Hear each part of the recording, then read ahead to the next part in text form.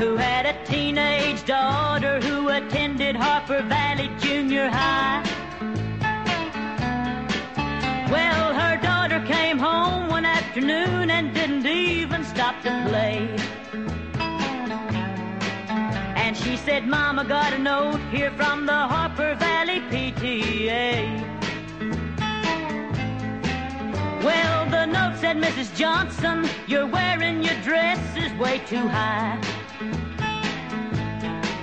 It's reported you've been drinking and are running round with men and going wild. And we don't believe you ought to be bringing up your little girl this way. Mom, is that really And it was signed by the Secretary, Harper Valley PTA.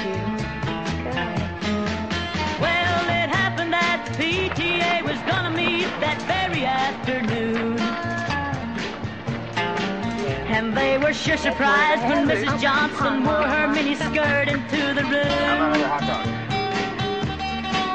And as she walked up to the blackboard, I can still recall the words she had to say. She said, I'd like to address this meeting of the Harper Valley PTA. Well, there's Bobby Taylor sitting there, and seven times he's asked me for a date. Mrs. Sure seems to use a lot of ice whenever he's away. And Mr. Baker, can you tell us why your secretary had to leave this town?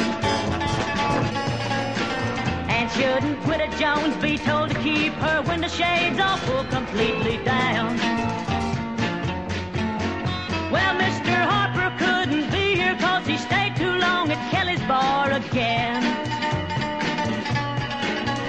if you smell Shirley Thompson's breath, you'll find she's had a little nip of gin. And then you have the nerve to tell me you think that as a mother I'm not fit. Well, this is just a little Peyton place, and you're all Harper Valley hypocrites. No, I wouldn't put you on because it really did. It happened just this way. The day my mama socked it to the Harper Valley PTA.